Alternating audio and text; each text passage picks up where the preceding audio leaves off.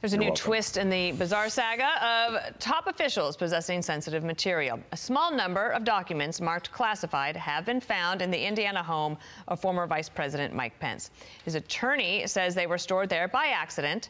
Well, last November, a reporter asked Pence whether he took any files from the White House. As we sit here in your home office in Indiana, did you take any classified documents with you from the White House? Uh, I, I did not. House Judiciary Committee Chairman Jim Jordan. So his he he did not think that he had. It sounds like he did. So I think what everybody wants to know, Congressman, is what's going to happen. Where does this story go from here?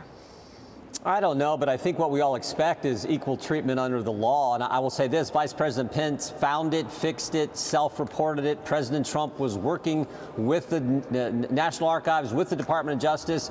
I think the difference, though, frankly, is uh, we saw this in a Washington Post story, Dana, where it said that Joe Biden's lawyers had a shared understanding with the DOJ to keep his document, classified document issue quiet. So they kept that from the American people. And I think that is the big mm-hmm. difference here. Again, the vice president, uh, Vice President Pence, found it, reported it, you know, got it out there versus what, what uh, Joe Biden and his lawyers and the DOJ were working together to keep this information from the American people and understand, as we've, I think, pointed out several times, they knew this information before the midterm elections. Yep, that's and, a good point. Uh, didn't, didn't share it with the American yeah. people. Have you checked your closet, sir? Yeah, well, I don't think we got anything like that. Um, I, wouldn't think anyone does. I mean, I don't know. Maybe who's next? Is, is Vice President Harris going to tell us something? Are we going to keep going back and back? Mm-hmm. I, I, don't know. Um, so uh, what what is important, and th- this is what we're looking into in, in, in a big sense. Um, at the Judiciary Committee is we got to have one standard. We got to have equal treatment under the law. And it's good to see what you just reported with what's happening now with with uh, people who've attacked pro-life centers because there have literally been over a hundred churches, a hundred crisis pregnancy centers that have been attacked, and this is the first time we've heard of anyone being charged with a crime. When we had that many, of course, if you're a pro-life activist praying in front of a clinic you get your door kicked in, they arrest you in front of your wife and kids, which is what happened to Mark Houck outside of Philadelphia. Okay. So uh, it's good to see what we what, what we're now seeing.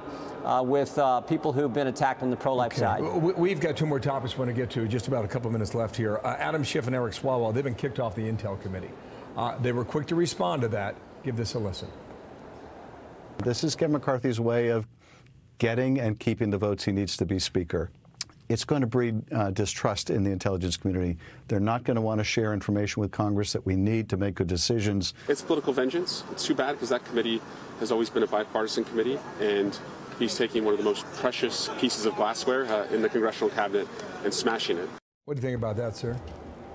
Always been a bipartisan committee when Adam Schiff was chairman. Are you kidding me? What they did to President Trump, what they did with their with the, the Trump Russia investigation. So uh, look and understand when, when Adam Schiff was saying all the things he said that turned out not to be accurate, he was saying them as the chairman of the Intel Committee, a guy who gets briefed on things that the rest of the world doesn't get to see. So there's an air of, of, of confidence in, that comes with that, but it turned out not to be accurate. So I think, uh, look, Speaker McCarthy's been clear. He said, he's told the conference, he said, look, if you saw the information that I get briefed on as part of the Gang of Eight regarding these two individuals, you would make you would be doing the same thing I'm doing. So right. I trust the speaker, and um, they're not going to be on the uh, they're not going to be on the Intel committee. Uh, on another topic, you, we have already seen how the White House is going to try to attack House Republicans and maybe the Republican Party uh, in general. It is on throwing Granny over the cliff once again. Here, listen to President Biden. Call for number four. We also want to talk about uh, the extreme Republican economic plans. Uh, apparently, they're generally serious about uh, cutting Social Security, cutting Medicare. I have no intention of letting the Republicans wreck our economy. And this is coming up in the context of the debt ceiling debate. How will Republicans fight back? Well, of course, we're not going to cut Social Security and Medicare, but what we are going to do is, is, is get a handle on this crazy spending. Now, understand this five weeks ago, the Democrats passed a $1.7 trillion bill that House Republicans opposed. And then one week ago, just one week ago, Karine Jean Pierre says from the White House the White House will not negotiate with Republicans on raising the amount of money, uh, raising the debt ceiling.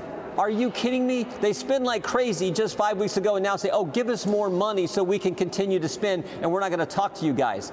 That is ridiculous and no one buys that. So we need to, we need to put in place some structural changes that I think are important. Here's one that's real simple. How about the Senate do a budget, something they haven't done in years? You're going to borrow more money? You go to a bank, you're going to borrow more money? You got to tell the bank, here's, here's our business plan. You got to show them some kind of budget, some kind of plan. But the Senate hasn't even had to do that. So, Chuck Schumer, how about you guys write a budget?